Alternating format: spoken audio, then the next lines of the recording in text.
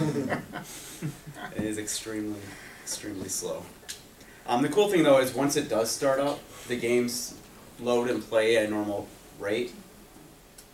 Um, we don't have nearly as many games on it because we put a handful of games on it, play those games, and if we want to play other games, we'll remove those games and put the other group on, just so that it's easier to go through.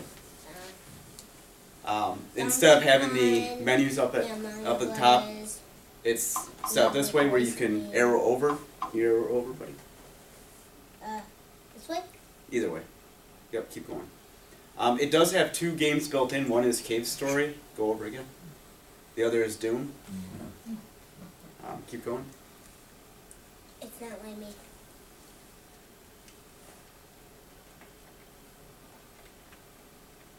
Okay. Perfect for a presentation. um, it, oh, there it goes. Then we have Zelda. And I'll game I don't remember. Uh, Crystalis. My favorite NES game ever. If anyone's ever played it. Um, the cool thing about it is, load a game, Jake. I don't know how to. Pick a game. Hold on. I'll go back. Uh, Mario Brothers. There's Mario Brothers. And go down. Down one. Um, so when you select a game, um, one of the issues you have is this loads the ROM just like it were on a cartridge. Back in the NES days, you had it easy. When you want to play a different game, you pulled out the cartridge, put in the new one. Yay! Um, on the computer, you have escape keys to get out of it. But on the RetroPie, you don't really have any escape keys. So it has it built in where you can push start and select at the same time. And that is equivalent to uh, exit out of this ROM and take me back to the menu so I can select a different one. Um, it has a text file where you can select whichever Uh, um, key mappings you want. So you can, if you have more, like a PS controller, you can set up key mappings in any way to Battle accomplish games. different things. And it has two player. It has one Um, player. Can't be free player. But you just SSH it, SSH into it to change the key mapping. Thing is, it's Um, you you can SSH into it. What I typically do is I just pop the SD card into Yay, my laptop and then Look you. Edit the file. from I there. edit the file directly. Yeah, yeah. Um, it's easier than SSHing, um, and it's a lot quicker, especially when I want to copy new ROMs to this th- system. I'll have to do it over the network. Oh no, I'm doomed. And because the hard drive's just an SD card, you can easily pull it out, pop it into the computer, leaving everything set up and ready to go. I can't get out. It's not Um, so-. One of the glitches we have with this, um, which comes down to fixing the key mapping, can't get out. is we have it set up for two players, so it's configured for two remotes. For some reason, player one remote is different in a game versus out of a game. So this is player one remote when you're out of the game, so you can go through and select which game to play play. But once you actually start playing the game, it switches to the other remote being player I one. want to jump out. So that's why he's having trouble accessing it right now. Is we only have the one remote plugged in, and so it sees this as player two. Um, and then the other issue we have is I'm not sure if this is Raspberry Pi in general, but the USB controllers are read during boot up only. How do you So now that the controllers have been pulled out,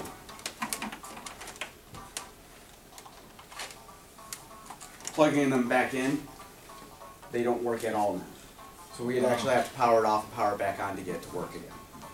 Let's do it. You can hard reset it without any uh, problems corrupting data. Uh, so there is no power button for this. There is no way to shut it down. The recommended way is to literally pull the power. Yeah. We Um, pull it. If you're running a, a desktop like Raspbian, then you can just shut it down like a normal Yeah. desktop. One Um, a lot of the images them for them right now, right? are not made for to be shut down really. Right. Um, like the open I'm rec for or the XBMC Want stuff, that it doesn't have a shutdown purpo- uh, shutdown procedure. It does. Yeah, I was gonna say. I don't like the food now. Oh, okay. Guys, Okay. Yeah. I'm gonna shut mine down properly then. Um, this RetroPie doesn't have anything that I've seen. Um, all of my Raspberry Pi images I've Wanna just pulled the Zelda? power on because I'm no. impatient. And I haven't had any issues with corrupt data or anything up to this point. So this is a very rookie question. I, I never played any of these uh, games, so I really don't know the gaming world, and I try to stay away from it. Will this sort of present a challenge to Can still the, do one player? these big players like Nintendo's and whatnot? Do you guys see No, like the so- gaming industry changes because of this? No, so the Oh, purpose no. of this, um, this whole platform is based off the MAME application. Um, MAME, I don't know what it means. yeah. It's for arcade. Um, arcade yeah, basically, they made a program so that they can take the old arcade games and be able to play them on modern hardware. So they don't come out with their own games. Um, MAME itself doesn't release any games. They just provide a emulator Hey, to be able to play the games that other people make. Um, there are some legality issues around it. Yeah. Um, I'm not sure what the overall ruling on that is. The last I heard is you have to actually own the MAME to be able to put it on the Raspberry Pi and be legal. Um, if you just download it off the internet and put it on the Raspberry Pi, it's tech- technically piracy. Our, That's a separate day. Yeah. I'm gonna pass around a couple, just so you guys can see them, okay? Go ahead. If anybody needs power, we've got power that I can run a cord, you want electric power? And we have the Wi-Fi thing, uh, as soon as Tony gets done, it's a little sheet of paper with some numbers on it. So if you need Wi-Fi, you take the top number, and that's your ID, and then the number below that is the PIN. And cross it off when you're done, so we don't use the same one twice. I'm sorry, go ahead. Yeah, I don't think you.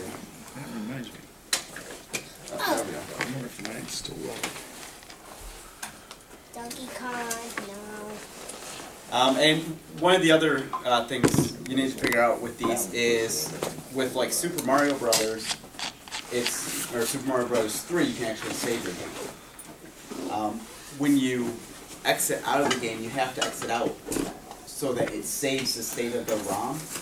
Otherwise, you won't ever be able to actually save your game. Um, which is fine for like arcade type games where you don't have a need to save it. Uh-oh. Sorry. Um, but some games like Zelda, where you can actually have a save point, Oh, you need to be able to save the. ROM. Um, start, select at the same time. The key mapping was set up where it does save it. I can't remember if I set Wait, that up or if it's done by default. Oh, so A is to do that. Oh, I lost light. What's in there? And even for the uh, wonderful NES I graphics on a HDMI connection, it still looks kind of cool. I want to destroy that. Oh. Any questions? I have a quick question. I'm kind of a Raspberry Pi newbie, so the RetroPie differs from like your Oh, no, standard Raspberry. Pi So, precisely. Uh-oh. The Raspberry Pi is 'Cause the hardware. Yeah, so th- You- you, have something like like a piece of hardware that's built onto it. Does it have other like an OS or something else that's Yeah, so the RetroPie is the OS that's put onto the part. Oh, I see, I see. Okay. This is 100% a Raspberry Pi, Oh, so it's just just a, with a OS called RetroPie. I see. And then you can load pre-existing games. Could you Look, program you- your own games? And then It won't work again. How come it's not working? I assume so. okay, Uh, I don't know how. I don't know. It, it would have to It's be not in the working. ROM format. okay, So if you know how to program an NES game or a Super NES game okay. Or anything like that, then yeah, you could. Yeah. Um, but it's not really made for programming games. It's just it? uh, I didn't know that. older Yeah. games on. And Yeah. play them. Okay, no So there, there, just to mention too, there's some other clubs in the area. Um, one of the clubs, MUG, M-U-G dot org, uh, they had uh, a guy come in, uh, one of the, the board members, uh-huh. and he described how you can, you know, write games with open source and things like that. Mm-hmm. So you have the full open source kind of environment on this box. So if you want to do programming and write code for games and things, you're not limited to the games that are on this this particular device that he's showing you right now, mm-hmm. there's, you know, hundreds of other options out there. So that was MUG, uh, M-U-G.org. There's also SEMCO, S-E-M-C-O dot org.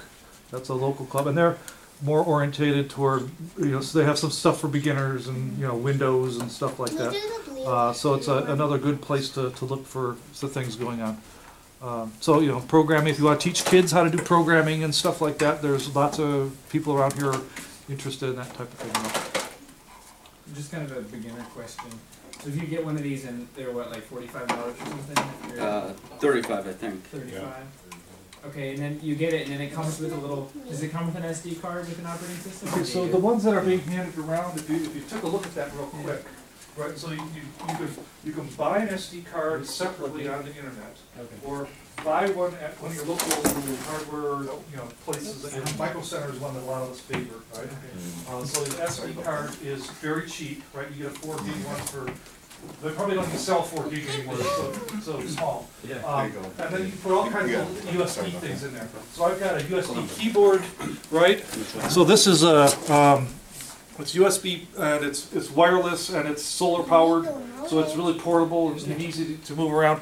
And then I have like a, a Wi-Fi dongle on there. I've also put in uh, low energy, uh, uh, oh, what is that, uh, what's that thing to connect it? Uh, Bluetooth, Bluetooth low energy, right, so you can control things with, with that. Uh, just all kinds of USB type thing, and I can get into more on that, but just to answer that, you also had a question on what kinds of things do people do with these, and Yeah. we can go through that, I mean, I wanna give everybody a chance to talk rather than me talking all the time. I bought uh my SD card last night. Uh, it was recommended that it be like a ten. Yes, so that's the speed, how quickly it can respond. Oh, okay, yeah. So like they use that in video cameras. Okay, got it. Yeah, Or yeah. even if you just buy a straight up Raspberry Pi, all you do is the board. No memory card, no power supply. When I bought mine at the liquor fair, then I How spent come it more won't work? parts. I spent more. I think it turned on, I just turned the projector back on. Yeah, there's some light.